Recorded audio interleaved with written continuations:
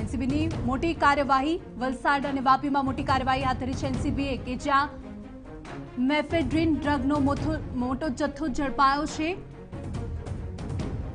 સાડા ચાર કિલો મેફેડ્રીન ડ્રગના જથ્થા સાથે બે શખ્સની ધરપકડ કરવામાં આવી છે. રૂપિયા પંચ્યાસી લાખની રોકડ રકમ પણ મળી આવી છે. આ મામલે બે લોકોની અટકાયત કરાઈ છે.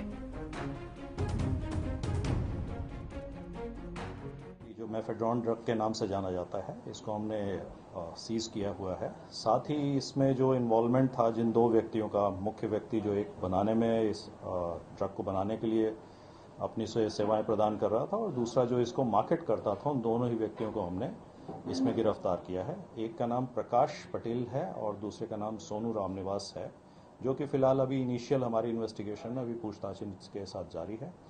इनको जब हमने पकड़ा है तो इनके पास से 85 लाख रुपीस से ऊपर का जो है कैश अवेलेबल मिला है। और साथ ही इसमें जो सबसे बड़ी हमारी सफलता रही है, वो है कि हमने इनकी जो मैन्युफैक्चरिंग यूनिट थी, जहाँ पे ये एमडी ड्रग को बना करके और देश के बाकी हिस्सों में और गुजरात के बाकी हिस्सों में जहाँ पे दे रहे थे, उसको हमने बस्ट कर दिया है। तो ये अपने आप में एक बड़ी मेजर सफलता है, क्योंकि अगर आप किसी मैन्युफैक्चरिंग फैसिलिटी को हिट करते हैं तो काफ़ी लंबे समय में जो ट्रेड चला आ रहा है, उसको आप अच्छी तरीके से नुकसान पहुँचा पाते हैं। तो ये एक एनसीबी की एक बहुत बड़ी सफलता है, मैं समझता हूँ। सर, ये कुछ इन्फॉर्मेशन मिल पाई? कितने सालों से योग कर रहे थे? किस तरह से चला रहे थे?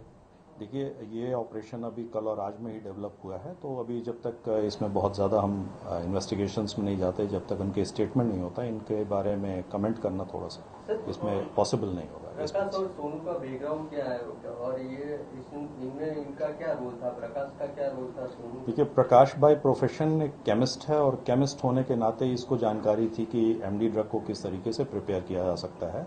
तो ये अपनी केमिस्ट की जो नॉलेज है उसका इस्तेमाल करते हुए इसको इस्तेमाल करते हुए अपना ड्रग मैन्युफैक्चरिंग में इसका यूज़ कर रहा था और फर्दर जो है ड्रग मैन्युफैक्चर करने के बाद इसको सोनू को प्रोवाइड करता था जो कि उसको फर्दर मार्केट में सेल करता था। सर ये टोटल जो ड्रग्स हमने बरामद किया है उसका मार्केट वैल्यू कितना होगा मार्केट वैल्यू पे कमेंट करना मेरे लेवल पे स्तर पे ठीक नहीं होगा बट जनरली ये ड्रग जो है काफ़ी अच्छी प्राइस कमांड करता है।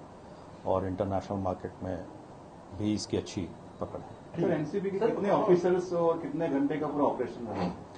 देखिए एनसीबी की अगर हम टीम की मेहनत की बात करें तो हमारी टीम लगभग 10 दिन से उस इलाके में जो है अपने सर्वेलेंस कर रही थी और धीरे धीरे हमने टीम का स्ट्रेंथ वहाँ पर बढ़ाया जिस तरह से हमारी इंफॉर्मेशन डेवलप होना स्टार्ट हुई तो हमारी जो नंबर ऑफ़ टीम्स हैं इस समय चार टीमें कम से कम हमारी ज़मीन पर काम कर रही हैं और 20 से 22 मेंबर्स जो है हमारी टीम के। वहाँ पे काम कर रहा है। सर गुजरात में अलग अलग जगह से एंटी ड्रग्स कुछ दिनों में ज़्यादा पकड़ा गया है। जैसे संदेश न्यूज़ ने भी रिपोर्ट बताई थी। तो एमडी ड्रग्स गुजरात में आता कहाँ से और उसका जो लेन देन है बड़ी क्यों? आपको क्या लगता है और कैसी कार्यवाही होगी? देखिए एमडी जो है ड्रग अपने आप में अवेलेबिलिटी की अगर हम बात करते हैं और कहाँ से आता है तो इस रूट को थोड़ा सा हिट कर पाना जब तक प्रॉपर इन्वेस्टिगेशन नहीं होता किसी चीज़ में। तब तक पॉसिबल नहीं होता है। जनरली एमडी ड्रग को बना पाना इतना मुश्किल भी नहीं होता और इतना आसान भी नहीं होता है। अनटिल अनलेस आपके पास इसकी एबिलिटीज़ हैं, जैसे प्रकाश जो है, ये खुद अपने आप में केमिस्ट था।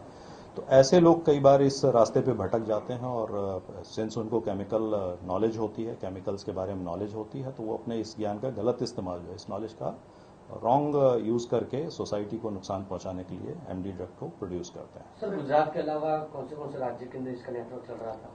देखिए अभी तक हमारी जो इनिशियल इन्फॉर्मेशन है उसके हिसाब से गुजरात और नेबरिंग महाराष्ट्र जो था वहाँ पे इसकी सप्लाई चल रही है। सर इस तरह के केस में किस तरह की सजा की जोगवाई है पेनल्टी की जोगवाई देखिए पेनल्टी इसमें आ, कोई भी कमर्शियल क्वांटिटी अगर हम आ, पकड़ते हैं तो आ, उसमें कम से कम मिनिमम टेन इयर्स की सज़ा होती है। यहाँ पे अगर हम कमर्शियल क्वांटिटी की बात करते हैं तो हमने 90 टाइम्स ऑफ़ कमर्शियल क्वांटिटी इसको पकड़ा है।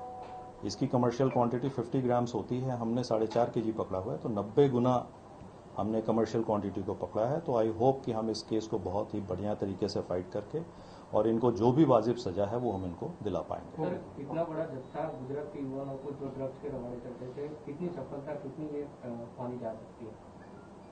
देखिए ड्रग के केसेस में अगर आप ड्रग के सीजर्स का आप पैरामीटर देखते हैं तो एमडी की अगर आप सीजर्स की बात करते हैं तो एमडी का सीजर अपने आप में ऑलमोस्ट आप देखेंगे हमेशा बहुत छोटी क्वांटिटीज में होता है।